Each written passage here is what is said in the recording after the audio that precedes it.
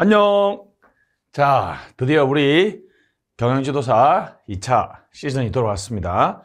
어, 올해 처음 하시는 분들이나 작년에 한번 또 패배의 쓴맛을 본 분들이나 모두 합격할 수 있도록 제가 와우패스와 제가 최선을 다하도록 하겠습니다.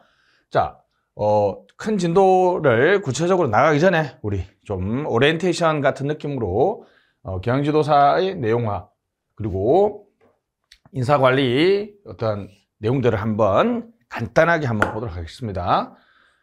첫째는 어, 어디까지 출제되느냐 두 번째는 경향은 어떻게 되느냐 세 번째는 그럼 우리가 어떻게 공부할 것이고 아 이게 이제 또 경영지도사가 좀 품격 있고 좀 가치 있는 시험이라는 것은 자 우리나라에서 자격증은요 어, 딱 두 개로 나눕니다 어떻게요?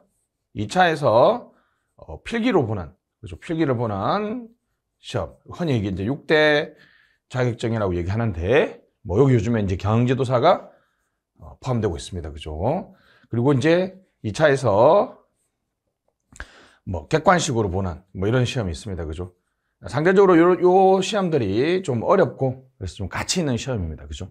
그런 측면에서 여러분들이 4번 참 어렵습니다. 그죠? 왜냐하면 열심히 어, 외우는 것과 다르게 에, 그것을 측정하는 것은 여러분이 쓰는 답안이기 때문에 답안 작성을 어떻게 해야 되는지가 중요하다는 거죠. 자, 그래서 첫 번째 영역, 경향. 요거는 이제 수험생이면 무조건 무조건 해야 됩니다. 그죠? 무조건 해야 된다는 얘기는 첫째, 여러분들이 자료를 완벽하게 가지고 있어야 됩니다.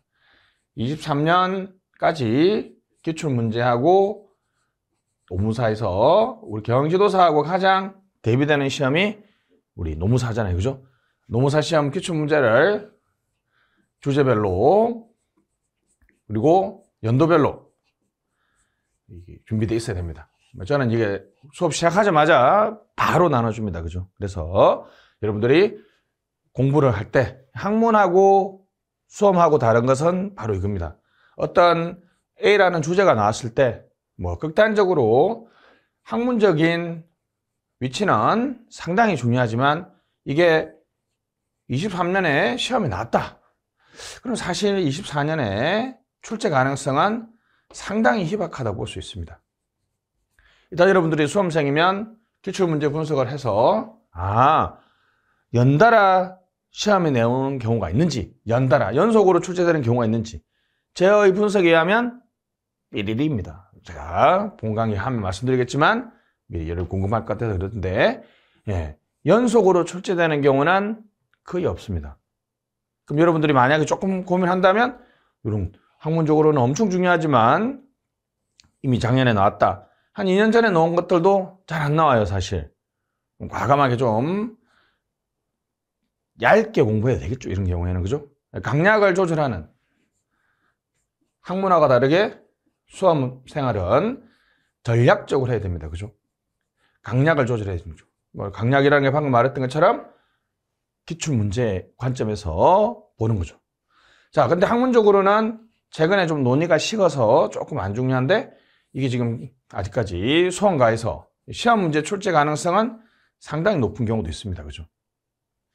자, 이런 것들을 구분하기 위해서는 기출문제 구분이 가장 중요합니다. 항상 제가 강조하는 것은 문제 편장절 또는 여러분들이 공부 시작하기 전에 또는 공부 마치고 나서 항상 기출문제를 계속 읽어봐야 됩니다. 기출문제를 읽어보면 여기 있는 것처럼 뭐가 중요하고 뭐가 중요하지 않고를 알 수 있고요. 또 기출문제를 계속 읽으면 논점 파악이 잘 됩니다. 아, 개념을 외우는 게 중요한 건지, 배경을 외우는 게 중요한 건지, 중요성이라는 단어가 중요한 건지, 어떠한 단어들을 논점을 물어보는지를 파악할 수 있기 때문에 어, 기출문제를 꼭 보는 것이 중요합니다. 자, 다시 출제 영역, 인사관리, 예, 전반적인 내용이 모두 잘 출제되고 있습니다. 그죠? 인사관리 전반적인 내용이 출제되고 있어요. 자, 우리가 이제 인사관리 여러분들이 시작했는지 모르겠지만 체계유 또는 학계유라고 얘기합니다. 이것만 알고 있으면 그래서 수업 또는 시험이라는 것은 기출 이꼴 출제 가능성이죠. 출제 가능성을 항상 고려하는 공부를 해야 되고 암기를 해야 되거든요, 사실. 그래서 이제 답안이죠, 그죠? 사실은 여러분 암기를 했는데 답안이 안 나오는 것도 문제지만 예, 암기 안 돼 있는데 답안 나올 확률은 거의 제로에 아니에요, 사실 제로에 가깝죠, 그죠? 그래서 어찌됐든 간에 그러면 여러분을 합격을 당락을 정하는 답안은 암기라는 것이 필요 조건입니다. 필요 조건. 그죠? 그러니까 암기를 어떻게 해야 될 것이냐. 이 엄청나게 두꺼운 책, 많은 책을. 그럴 경우에는 전체를 보면서 두 문자, 두 문자. 흔히 얘기하는 두 문자. 뭐두 음문자라고 하기도 하는데, 그죠? 제가 방금 했죠, 그죠? 이런 거. 체, 개, 유. 인사관리는 채용과 채용관리, 개발관리, 유지관리로 돼 있죠. 자, 이제 계속 외우면 아주 좋습니다. 그죠? 그 다음에 학보관리, 개발관리, 유지관리.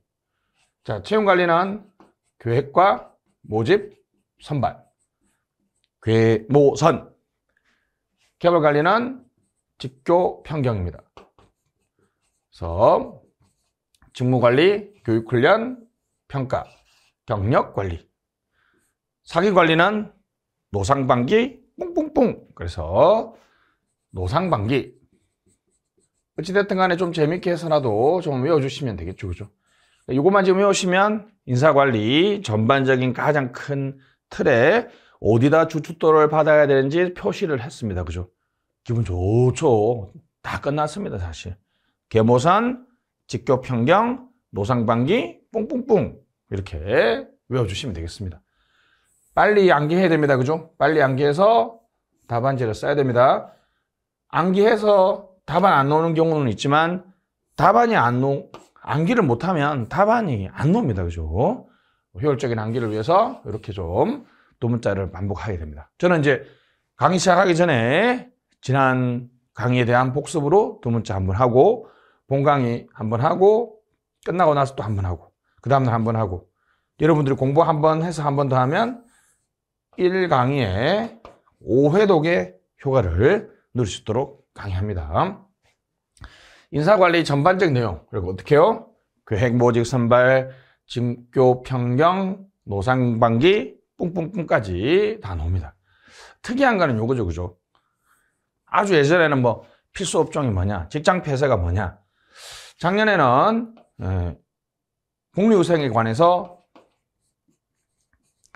지원제도에 관해서 물어봤는데 약간 뭐 제가 보기에는 인사관리에서는 그렇게 어, 중요한 어떤 논점이 좀 될 수는 없는데 박경규 교수님 책에 있는 내용인데 사실은 이런 것들은 조금 노사관계 관점에서 한 번쯤은 해석할 수도 있는 거죠.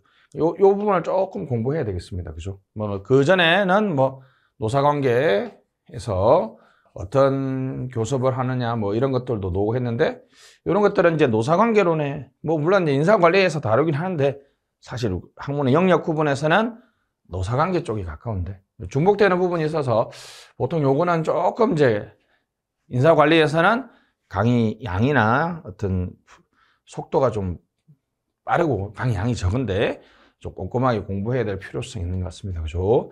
그 외에는 특정 영역에서 출제되지 않고 전 영역에서 골고루 출제되고 있습니다. 그죠? 뭐 유지 관리에서 압도적으로 많이 놓는다. 개발관리에서 많이 놓는다.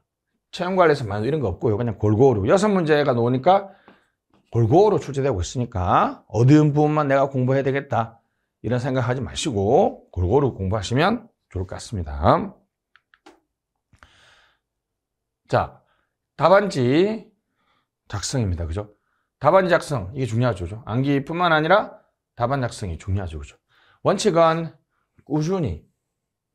요건 이제 꾸준히 해서 두 가지 의미가 내포되어 있는데 가장 중요한 건 이겁니다. 그죠? 여러분들이 암기해서 답안을 작성하는 게 아니고요. 답안을 작성하면서 암기하는 겁니다. 다시 뭐라고요? 암기해서 다 내가 문제만 보고 쭉 써내려가, 네, 써 가겠다는 게 아니라 여러분들이 공부하실 때 그것을 답안을 통해서 암기하는 거예요. 예를 들면, 처음부터 기본 단어, 키워드, 목차 이렇게 나눠서 됐습니다. 예를 들면 직무 분석이다 라고 하면 일단은 직무 분석의 개념을 한번 써보시고 학자 언급하면서 쓰면 좋겠죠. 그러니까 직무 분석의 가장 중요한 키워드는 뭐죠? knowledge, skill, ability다. 직무 기술서다. 직무 명세서다. 자, 그래서 직무 분석의 방법이 능지귀 관리 뭐 이런 식으로 해서 암기법이 있으면 그 암기법도 한번 써보고요. 그럼 이제 이렇게 단어, 키워드, 목차. 그럼 이제 논리 체계로. 아 요걸 먼저 쓰고 아, 중요성은 이렇게 쓰고 이렇게 2번을 하고. 뭐 이런 식으로 해서 목차를 잡습니다. 아니면 요부터. 여러분들이 어떤 부분을 읽었으면 그 부분에 대해서 복습하실 때, 아, 맨 처음에 개념을 얘기했고, 배경을 얘기했고, 유형을 얘기했고, 유형에서는 뭐 이런 거, 이런 거 얘기했고, 이렇게 그 여러분들이 공부했던 내용을 그 안에 내용을 보지 마시고 전체 목차를 한번 물론 이제 세부 목차까지 그죠? 한번 구성해보는 연습. 그걸 답안지 형식으로 답안지를 구매하세요. 그죠? 우리 와우패스에서는 팔지 않지만 그죠? 신림동에 흔히 말하는 고시 복사방 또는 그걸 파, 전문적으로 파는 업체가 있습니다. 그죠? 전화하시면 그냥 막 불꽃 배송해 줍니다. 그죠? 그래서 뭐 여러분들 욕심 좀 팍 내서 어떻습니까? 한 천장 정도 사세요. 그죠? 그러면 그거 보고 답안 작성 연습하고 최고 답안도 한번 제가 이제 올려드리지만 답안지 잘 안 쓰시는 안 써지는 분들은 그 다른 분들이 썼던 최고 답안 그대로 카피, 필사해보면서 쓰시면 아주 무난하게 몇 번만 보면 아 어떤 형식이나 어떤 스타일로 쓰는지를 알 수 있을 겁니다. 그죠? 자 다시 예, 문장을 암기하는 밥은 없겠죠? 일단은 뭐라고요? 목차, 기본 단어, 핵심 키워드를 암기하시고 일단 생각나는 대로 계속 써보세요. 그리고 이제 체계대로 배열하고 그 다음부터는 또 문장을 완성해 나가면 되겠습니다. 초안을 잡아서 요, 요 방금 말했던 여기 다 초안입니다. 초안. 초안을 잡아서 할 필요가 있고요. 좀 이제 고득점 하시려면 인사관리도 일종의 법학이 아니라고 사회과학이기 때문에 예, 좀 차별화되는 목차를 쓰시려면 뭐 문제를 낸 분이니까 당연히 아, 이 중요성 이런 거 쓰면 좋죠. 이 문제가 왜 났을까? 뭐 예를 들면 작년같이 예, 복리후생에 관해서 법정 복리후생에 관해서 어, 지원 제도가 있는데 다른 분들은 암기를 했으면 잘 썼을 거 아니에요. 근데 중요한 건 뭐라고요? 여기 개념을 쓰고 난 다음에 왜 이게 중요하냐? 근데 이런 거는 쉽습니다. 제가 가르치는 대로 하면 복리후생이 보상관리 파트에 있으니까 우리가 보상관리의 완성이다. 또는 조금 공부하신 분들은 상생적 노사관계의 어떤 시금석이다. 뭐 이런 식으로 해서 어, 문제 출제된 것이 중요하다. 이 말은 이제 뒤집어 뭡니까? 출제 잘하셨어요. 이렇게 한번 칭찬해 주는 그러한 노력이 필요합니다. 그죠? 됐습니다. 그래서 또한 한국 경영과 언급해 주면 좋습니다. 다 써주시고 나서 한국 경영에서 왜 중요해지느냐 뭐 이런 식으로 해서 이런 목차를 꼭 한 번씩 달아주시면 좋겠고 이런 목차는 내용적으로 제가 수업 시간에 어떻게 다는지 다 설명드리도록 하겠습니다. 자, 공방법. 주로 이제 경지도사들은 어, 현직에서 일하시면서 하는 분들이 많으니까 꾸준히 하는 게 중요합니다. 일단은 욕심내지 마시고 막 주에 한 번 아니면 주에 두 번 이런 식으로 그죠? 뭐 그리고 강사나 또는 와우패스를 이용해도 됩니다. 그죠? 실제로 이제 저한테 어 이렇게 자, 자신이 스스로 공약을 하는 사람이 있어요. 혹시 뭐 제가 수업 들었는데 뭐 2주에 한 번씩 답안지를 보내드릴 테니까 채점을 해주시겠냐? 오, 저야 아주 좋죠, 그죠? 요새 뭐 제가 그냥 살짝 어떻게 해요? 2주에 한 번씩 그 보내신다고 했는데 안 보내시면 어, 기프트콘, 아이스 아메리카노 한잔 보내줘야 됩니다. 이렇게 하면 약간의 강제를 또 부여해주면 그렇게 해서 뭐 그분 마음이 이쁘잖아요, 그죠? 포기하지 않으려고 하는 거죠, 그죠? 그래서 이렇게 저를 이용하셔도 되고 아니면 와우패스에 들어와서 남기시면 됩니다. 뭐 밴드를 만들어서 같이 뭐 지역이 떨어져 있으면 같이 공부할 사람들 구해서 밴드 해가지고 이게 이제 다른 거 하지 마시고 습작 필사 그래서 우리가 교재를 정해서 어느 부분을 우리가 며칠까지 써서 밴드에 올리자. 그러면 이제 손으로 써서 올려야 되겠죠. 그죠? 그러니까 손으로 쓰면서 직장인들은 손으로 쓰면서 공부하는 거니까. 그죠? 그걸 포기하지 마시고 계속 강제력을 부여하면서 공부하시는 게 중요합니다. 그러니까 한번 끊었다가 다시 공부하는 건 힘드니까 꼭 꾸준히 공부하는 거. 최근에 방법은 어떻게 한다고요? 밴드를 이용한 밴드. 사람은 어떻게 구해요? 와우패스에 오면 게시판이 있으니까 구해도 되고요. 경기도사 공부 모임들이 우리 뭐 네이버 다음 카페에 많이 있으니까 어, 그걸 이용하시면 되겠습니다. 한 번 보고 하려고 하지 마시고 어, 저는 이제 속독을 좀 빨리 자주 보는 걸 강조합니다. 그죠? 일단 강의는 제 강의를 들으시고 아주 좋습니다. 와우패스 아주 좋습니다. 그죠? 강의를 빨리 들으시고 그러면 다시 어떻습니까? 빨리 목차 중심으로 한번 정리해서 다시 보시고 자, 한 이해도 좀 이제 답안이 써야 되니까 다시 제 답안 작성 강의 들으시고 그럼 또 연습하시고 또 저한테 한번 질문하시고 이렇게 하면 아주 좋게 학습할 수 있습니다. 특히 저는 이제 복습을 강조하는데요. 수험은 학문이 아니기 때문에 복습입니다. 복습. 그죠?